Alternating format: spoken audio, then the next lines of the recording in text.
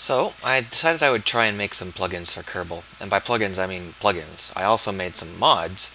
Um, I built myself some parts and some new resources to play around with it, uh, and I'm not going to pretend that these are anything other than programmer models and programmer textures, um, but I wanted to show you that you can in fact build mods in Kerbal pretty easily uh, once you understand what's going on. Unfortunately the forums are down so it's not easy to actually um, do this sort of thing. You have to know enough about C Sharp to be able to interface with all of the uh, pieces that are there and aren't documented. Even if the forums were up, all the documentation is out of date.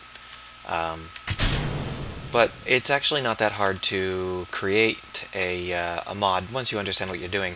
So I figure, mm, you know, maybe in my spare time I'll create a mod or two just for kicks.